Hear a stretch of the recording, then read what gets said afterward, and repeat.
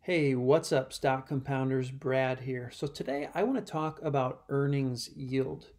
Now, earnings yield in this book, The Little Book That Beats the Market, uh, is Joel Greenblatt's metric for how to determine how cheap a stock is, how cheap a business is.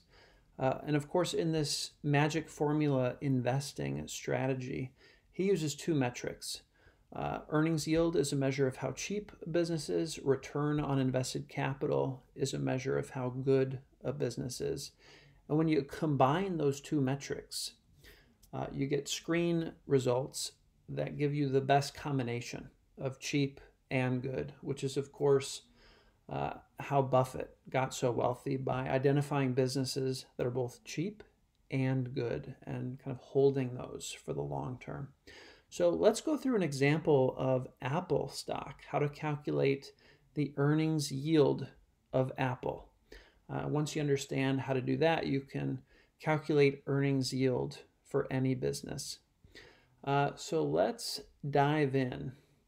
So earnings yield, as Joel Greenblatt defines it, there's a lot of kind of nuanced ways uh, of calculating earnings yield. But the way that Joel Greenblatt does it in the little book that beats the market for his magic formula investing approach uh, is earnings yield is pre-tax operating earnings divided by enterprise value. Okay, so he uses earnings before interest and taxes uh, because he wants to be able to compare the earnings yield of businesses that have different tax rates and you know different debt structures. Um, so he wanted to remove kind of the the impacts of different tax structures and different uh, interest loads.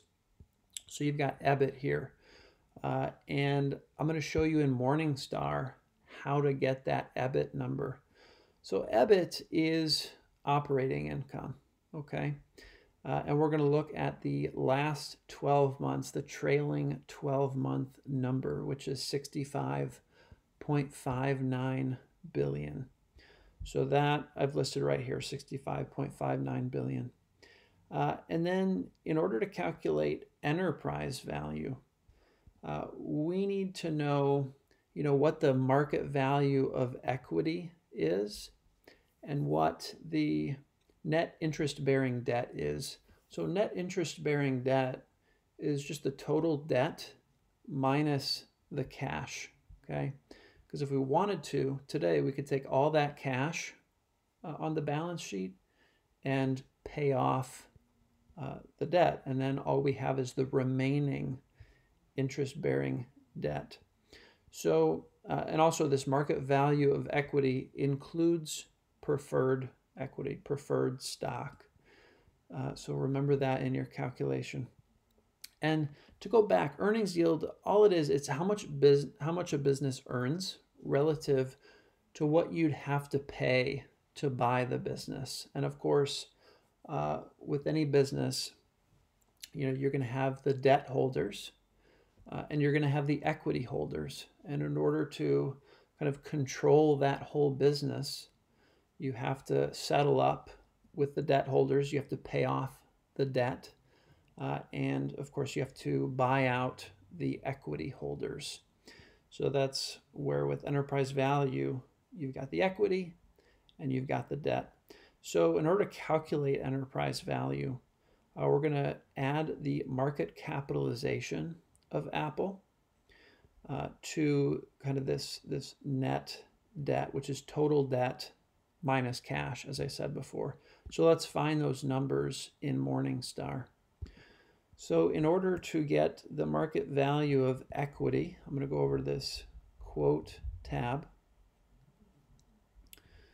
And you see here the market cap, $1.633 trillion. So in terms of billion dollars, we've got 1633. So that's what this is. 1633 billion dollars in terms of market cap. Now, in order to find debt, we're going to go over here to the financials.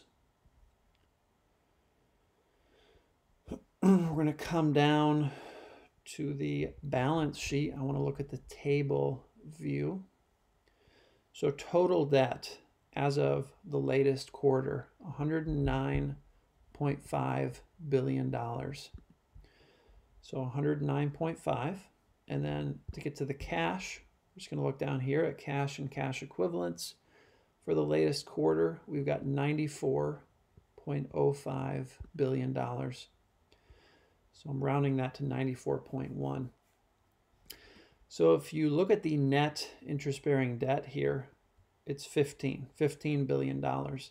So you add that 15 billion to the 1633 and your enterprise value is 1648 billion dollars.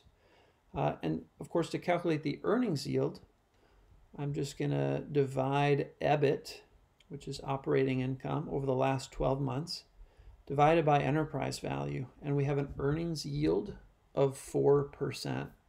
Now, if you think about what this means, it means, you know, based on the last year of, of Apple, both EBIT and enterprise value, it's going to take 25 years to kind of earn back what I'm paying today for Apple, um, both equity and debt.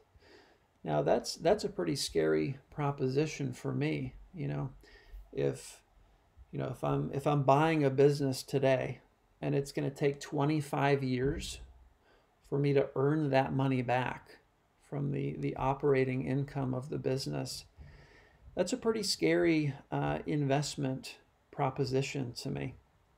It's very expensive. Uh, a four percent earnings yield is is quite low. Um, of course, Apple is a fantastic business, uh, but you know it's it's also a, a, very large business. You're talking about 1.6 trillion dollars uh, in in market cap, also in enterprise value. So I would question. You know, there's a lot of people who think Apple is still going to grow a lot over the next decade. Um, you know, it's possible it's hard to imagine a company that big still having a lot of growth ahead of it. Um, but you know, Apple is a very strong business. But you know, when it comes to investing, you know, if if if you're counting on so much growth from a business that's already so large, you know, to me, there's a lot of risk in that. Um, to me, the odds of, you know, losing money on a company that has a 4% earnings yield are they're just too high for me. Uh, so, you know, I'm definitely taking a pass at the current price of Apple. You know, I'd love to own Apple. Uh, it would have to drop significantly from here. You know, and it's funny there. If you look back just a year, maybe a year and a half uh, before Warren Buffett bought Apple, I mean, the the earnings yield was at like 12%. So it's just gotten insanely, insanely expensive. Uh, really, it seems like since this uh, pandemic started back in February and March, I mean, the, the price of Apple has just taken off. So, uh, you know, I just wanted to go through that example of Apple, how to calculate earnings yield. Earnings yield is an incredibly uh, important metric uh, in terms of gauging how cheap or how expensive a business is. Like I said, I like to, I'm not really interested in anything where the earnings yield is less than 10%. Uh, I think back when I bought um, GrafTech, the earnings yield on GrafTech was something like 30%, which, you know, indicated to me that within three or four years, if I had bought GrafTech, I was going to be making my money back just on on the operating income. So that that was a much more exciting opportunity. Of course, you know how things have played out with those long-term contracts. Uh, there's some the delinquency on those long-term contracts is going up uh, with with the current situation uh, with bankruptcies that are happening. So it, it became a less uh, a less exciting investment due to the kind of current situation. But you know, it, it's really important that when you're buying a business, uh, you you have a sense for how long it's going to take for those earnings to pay you back for, for what you paid for the business. And you know, looking at a 25 year payback based on the current earnings of Apple. It's, a, again, a scary proposition. So anyway, guys, just wanted to go through this example. Smash that thumbs up if you found this useful. And um, yeah, if you have any questions about the magic formula, Joel Greenblatt, earnings yield, let me know in the comments below and I will do my best to answer those. So without further ado, I will see you guys in the next video. Take care.